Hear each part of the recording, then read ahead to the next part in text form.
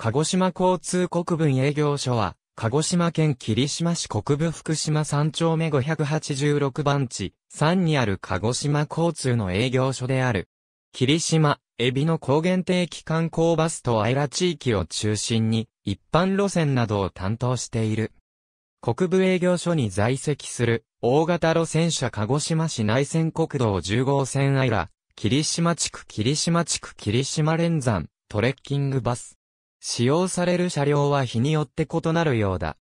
現在、国部営業所担当の高速バスリムジンバスの運行はないが、かつては、鹿児島霧島間高速、湯煙号や、指宿霧島間、メモリーライン、鹿児島空港人吉三港間を運行していたほか、空港川内線にも担当事業があった。私学館大学、鹿児島城西高校、上村学園のスクールバスを運行。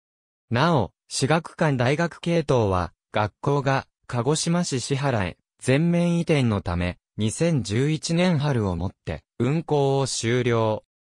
過去には小型マイクロバスを利用した非東山小学校と中福陵小学校の運行もしていたが、現在は一般路線化した。霧島連山とエビの高原の観光用として、霧島、エビの高原定期観光バスを毎日運行している。